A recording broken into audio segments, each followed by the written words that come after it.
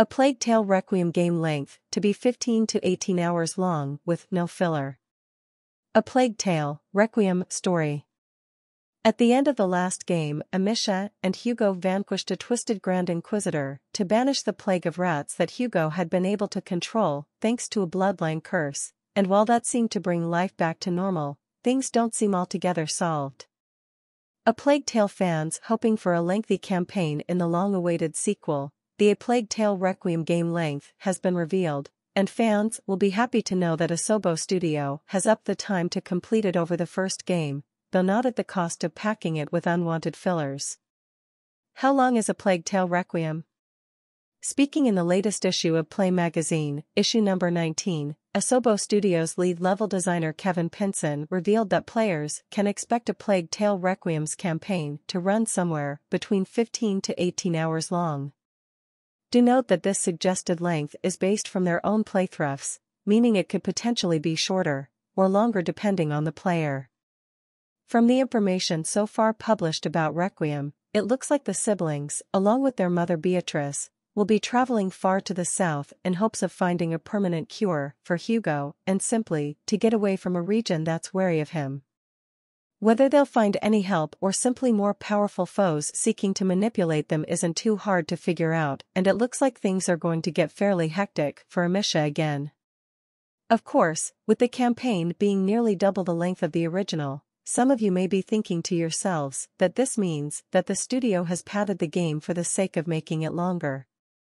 Well, at least according to Kevin, that isn't the case, with publisher Focus Interactive even encouraging the team to make it however long they wanted, as long as they were able to tell the story that they wanted.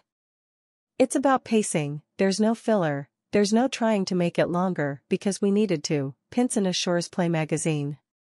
Our publisher, Focus Interactive encourages us to do the length that we want to do for the game for the story we want to tell.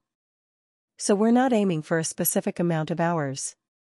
This is not something that we take into account when we first design the game. We are a small team of 70 people, so we have to be really drastic about our choices. A Plague Tale, Requiem, platforms. The big news was that Requiem came to Xbox Game Pass on release day, meaning you can play it at no extra cost, on both Xbox Series X and Series S. That doesn't mean it's an Xbox exclusive, though, it also released for PS5, Switch and PC. The Switch version of the game involves some cloud streaming, since it's graphically intensive, and the game also didn't out for either the PS4 or Xbox One, making it a next-gen experience. A Plague Tale, Requiem gameplay. In June 2022, we got plenty of footage of actual gameplay from Requiem, thanks to a proper reveal livestream from Focus Entertainment, and it looks like it's clearly building on the first game. We can see that a few staples from Innocence are back in Requiem. You'll play primarily as Amicia, armed with a sling, a new crossbow, and some slinky stealth skills, moving around areas populated by more powerful enemies and guards. We'll have to use fire and light to escape them once more, but, with Hugo on the scene, the gameplay demos have already made it clear that we'll use the rats to our own purposes plenty as well.